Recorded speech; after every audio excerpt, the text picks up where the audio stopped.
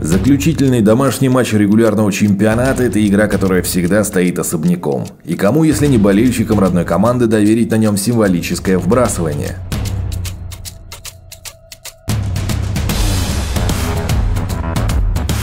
Вообще, в ВТБ Ледовый дворец на встречу между «Динамо» и «Адмиралом» собирает более 8 тысяч зрителей.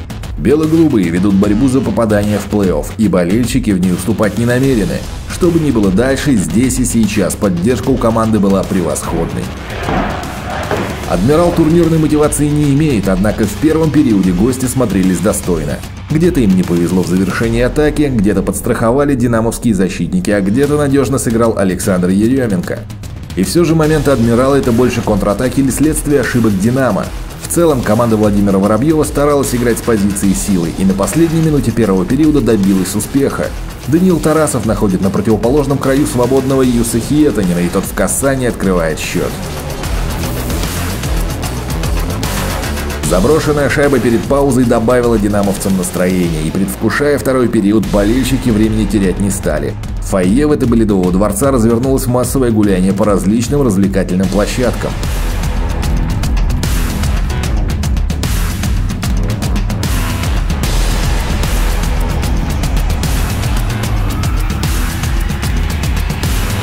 Второй период динамовцы начали так, будто никакого перерыва и не было. Сходу заработали большинство, а вскоре и удвоили свое преимущество.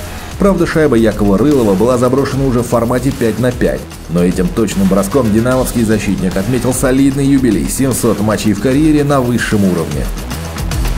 При этом и реализации лишнего игрока долго ждать не пришлось. Сразу после второй пропущенной шайбы «Адмирал» получает еще одно удаление, за что «Динамо» моментально наказывает. Никита Серебряков не смог справиться с броском Владимира Брюквина, после чего уступил место в воротах Игорю Бабкову. 3-0 в пользу «Динамо». После этого «Адмирал» попытался взвинтить темп своей игры и навязать силовую борьбу.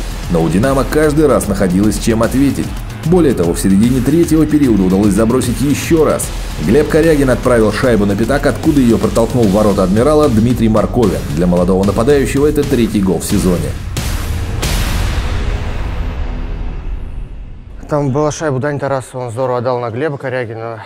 А, ну, уже было видно, что Глеб уже меня ищет, но я особо не успевал там в этом моменте. И он э, бросил вратарю в дальний щиток, и так получилось, что ну, она скочила шайба, я ну, оставался только добить.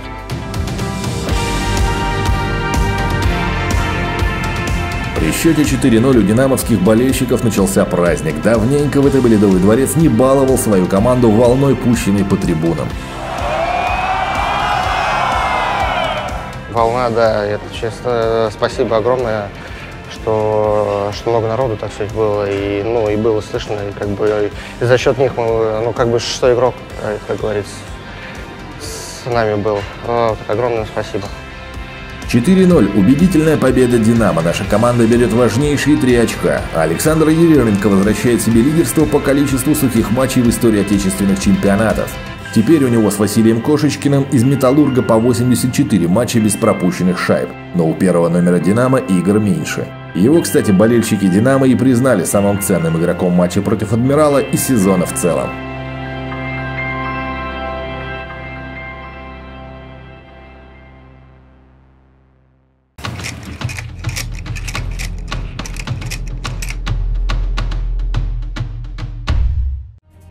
Банк ВТБ первый в России создал международную финансовую группу, состоящую более чем из 30 компаний, работающих во всех сферах финансовой жизни. Внимательное и профессиональное отношение к каждому клиенту, грамотное и эффективное управление финансами являются залогом успеха работы группы ВТБ.